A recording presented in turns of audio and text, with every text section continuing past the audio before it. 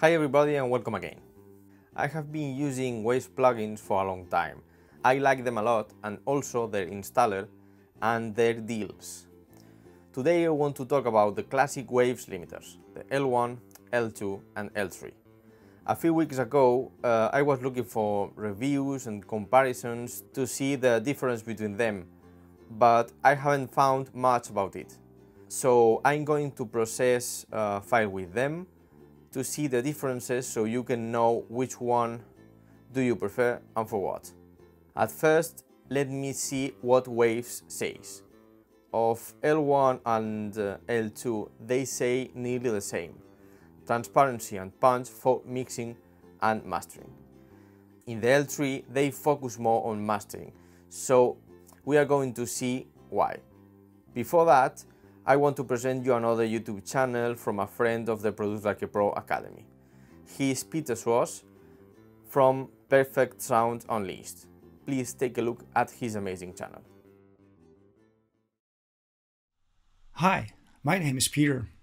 I'm from Perfect Sounds Unleashed. Welcome to my YouTube channel. In this YouTube channel, you will find videos about me mixing, and I'm going to put up videos about you.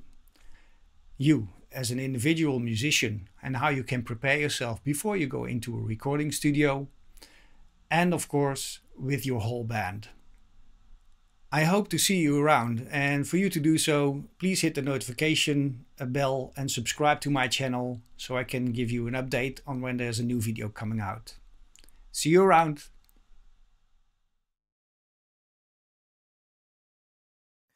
Well, here we are with a WaveLab Pro project with the plugins ready to go. For this comparison, we are going to use my mix of the Layla cover from the um, Produce Like a Pro Academy. In the description below, you can see a link to the video and more information. Let's start with a quick review of the plugins. We have two versions of L1, the limiter and the ultra maximizer. The limiter version is more simple without input controls and without dithering. For the comparison, we are going to use the more complete Ultra Maximizer version just for making it more accurate. We have the input control, threshold, ceiling, release, the auto-release control, and the dithering section. The L2 only has one version with threshold, ceiling, release, auto-release control, and dithering section. Let's go to the L3, which has four versions. The Ultra Maximizer with threshold, ceiling, release, and dithering section is like the other ones, but here we can see a profile section. We can choose the behavior of the limiter and change the color of the sound. This is a big difference. The multi-maximizer is a multiband version with linear phase crossovers to achieve uh, as much transparency as possible if we want. This one is completely different. I see it more for mastering if we want to choose different responses or maybe solve some problems. The other two versions are the low latency ones without the linear phase crossovers.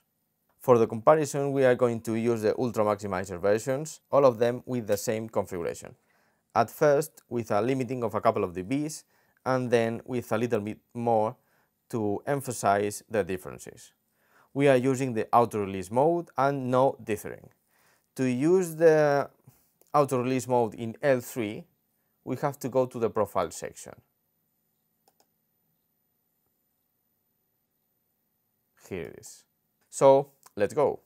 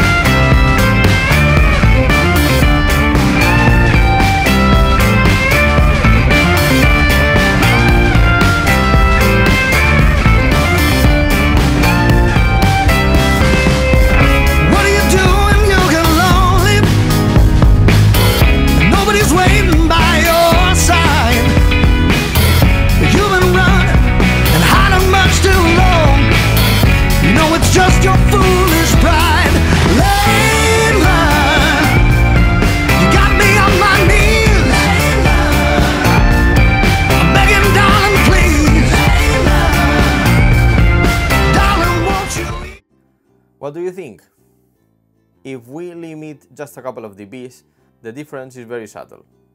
But if we force it more, uh, it's uh, really noticeable. L1 is a little bit warmer, L2 is more transparent, and L3 is brighter. But remember, we have different profiles for change the sound. I use the L1 limiter in my drum bus just because it's simple and uh, really quick to use. The L2 in my master bus and the L3 for mastering just because different profiles we can choose. If I have to choose just one, maybe I choose the L2 just because it's more transparent than the L1 and easier to use than the L3. And for a couple of dBs, I don't need more. Please download the audio files and comment below. Hit the like button and subscribe if you haven't already. See you in my next video. Bye!